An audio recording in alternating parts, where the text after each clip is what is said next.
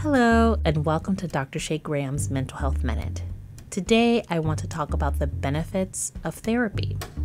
Talk therapy or psychotherapy is a problem solving option for people searching for a confidential and effective support system outside of their family and friends. Therapy can be long term or short term, between four to seven sessions. You can find a therapist in your area by going to Psychology Today or asking a friend for a referral. Email at least three potential therapists to learn more about their approach to therapy, how they structure sessions, and if they're certified in any evidence based techniques. Thank you for joining Dr. Shea Graham's Mental Health Minute online at www.drsheagraham.com.